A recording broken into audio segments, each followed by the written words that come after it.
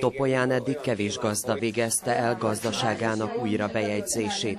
Támogatásra azonban csak a bejegyzett gazdaságok számíthatnak.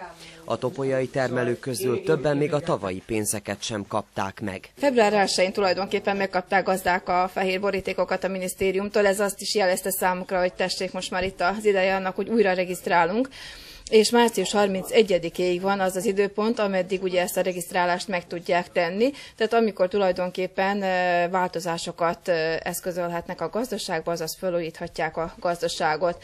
Az egyszerűsítési folyamat az még próbálkoztak az, hogy még leegyszerűsítsék ezt a folyamatot, és ez többé-kevésbé sikerült is ugyanis akinek nincsen változása a gazdaságában, az csak beadja ezt a kijelentést, ezt az úgynevezett ízjavát, hogy nincsen változása a gazdaságomban, föltörteti a saját adatait, és valóban egyszerű. Amennyiben viszont úgy a vetésforgója változott, vagy hozzátesz, vagy valami, akkor viszont megbonyolódott a dolog, úgyhogy nem tudja hozzáírni ezen túl, nem tudja ráírni a klassz, arra a papírra, amit a minisztériumtól kapott. Nem az új formulárokra kell ezeket a változásokat föltüntetni. A tavalyi évhez képest itt a gazdáknak hány százaléka végezte el ezt a, ezt a tervet, tehát hányan adták be? Az az igazság, hogy nagyon meglepő, de itt van március harmadikát írunk, és még a gazdáknak egy 20-30 százaléka, ha megtette ezt az úgynevezett felújítási folyamatot. Ez, ez nagyon kevés, tehát egyrésztben megértem a gazdákat, lévén, hogy tudjuk azt, hogy nem jöttek ki még mai napig sem a törvények. Nagyon sokakat érdekel, hogy igenis, hogy az egyedüli haszon ezen a mezőgazdaságban per pillanat az, hogy megkapják a támogatásokat, a különböző támogatásokat. Természetesen mindenki szeretné tudni, hogy milyen támogatásokra várhat, és mik azok, amik ehhez föltételek és hát szeretnek ehhez alkalmazkodni természetesen, és erre várnak. A napokban kijött egy új rendelet a mezőgazdasági minisztériumtól. Ennek az a lényege, hogy törzskönyvezett állatállományt támogatnak, de itt egy fontos tényező, csak azok kapnak, akik fizetik aktívan a földműves nyugdíjalapot, és törzskönyvezett állatállományjal rendeznek, rendelkeznek tehát itt több csoportra kapnak támogatást, tehát a törzskönyvezett fejős tehenekre, a törzskönyvezett kecskék és juhok és a törzskönyvezett sertésekre. Tehát a legtöbbet a törzskönyvezett tehenekre kapnak, 25 ezer dinárt, 4-4 ezer dinárt a törzskönyvezett kecskék, juhok és a, a sertések. Bejegyezve be van már több éven keresztül, ugye amióta ez kötelező, azóta ígéret nagyjából be van tartva, most majd mi fog lenni, azt meglássuk. Egyelőre csináljuk most is a papírmunkát jelen pillanatban. Mekkora támogatásra számít, vagy egyáltalán jogosult-e lesz valamilyen támogatásra? Hát most, ami tavaly volt, ez van ígérve tovább is, ugye gondolom a földterület után, ha betartsák azt, amit mondtak idáig, akkor a nép mégis könnyebb elviselni, ami kiadások vannak minden alapon, mert kiadás az van, ugye hála Istennek mindenbi, zárak ezek, mennek fölfelé máru hónapra, minden alapon az üzemanyagtól kezdve az alkotrészek, a gépállomány, minden kísérjük, ahogy bírjuk. Egyelőre.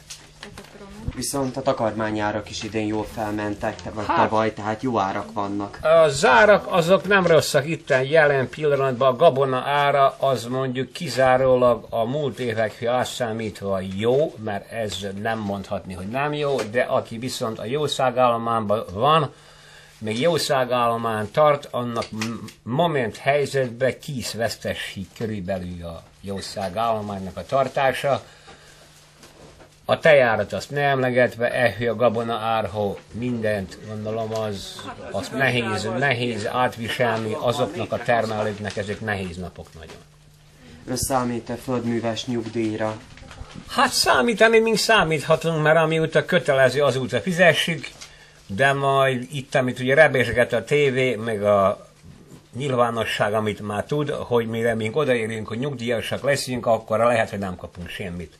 Mert ahogy kinéz az állam, a pénztár az, az üres, a zállami nyugdíjasoknak is, ugye ott van 2%-ot tudnak emelni a nyugdíjon, Hát most kérdezem én meg azt a fönti beográdiakat, hogy hogy tudnának ők megélni 8000 dináros földműves nyugdíjból. Befejeztük a bejegyzést, hát most reméljük, hogy mivel kérik is tőlünk a tejgyárból az aktív státuszt, és akkor ez véget muszáj igyekezni a bejegyzéssel, hogy abba is sorba kerüljünk.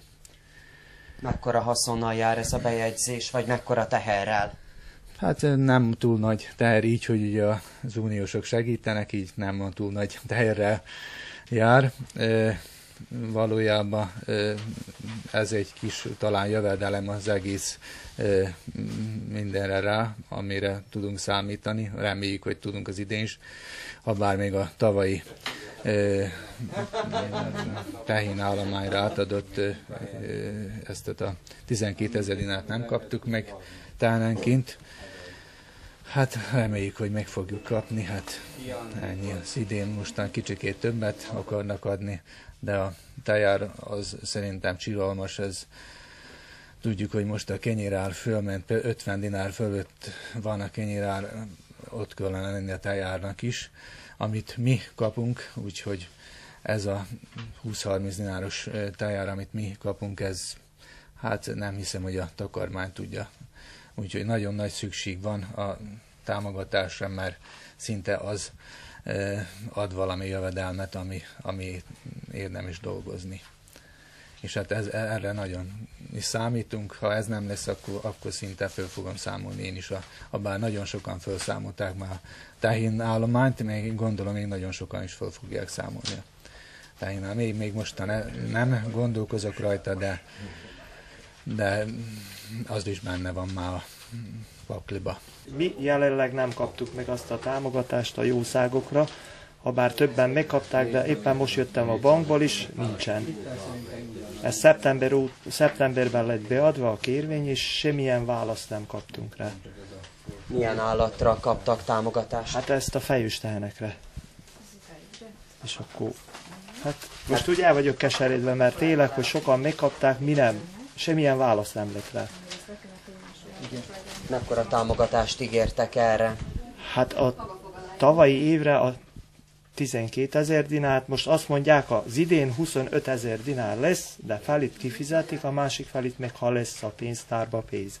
Tehát akkor mondják meg azt, hogy ennyit fizetünk ki, nem majd ha lesz pénz, mert az a majd lesz, abból nem lesz semmi. Ön egyébként hogyan értékeli jelenleg a tejtermelés helyzetét? A tejtermelésről nem érdemes beszélni az nevetséges árak vannak. Még ha leértékelik a záruinkat. 5 dináros prémiumot is emlegetnek, ugye a 25 Igen. dináros támogatás mellett. Er, erről mi a véleménye? Hát jó, van most az szép, az az 5 dinár, csak a többi nem szép. Mondjuk 25-re 5-öt kapunk, akkor az szép támogatás. Csak a 25 a kevés.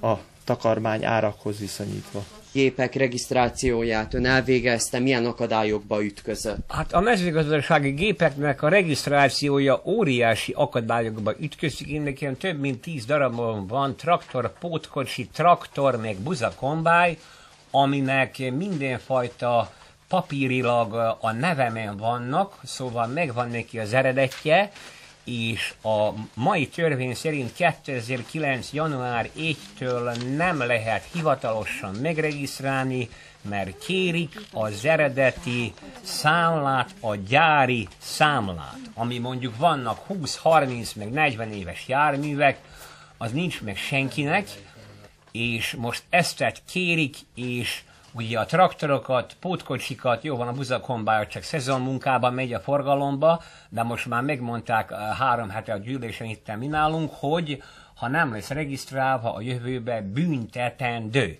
No most, akkor kérdezem én, mikor Szabadkány, Szabadkai községbe tavalyi esztendőben 110 darab ilyen járművet megregisztráltak, a belügyön köröztül, de viszont a szerbiai törvény egyet képez, szóval ebbe van Topolya is, meg Szabadka is, meg Újvidék is, meg Szrém is, és sehol többet azóta ezekkel papírokkal regisztrálni nem bírunk.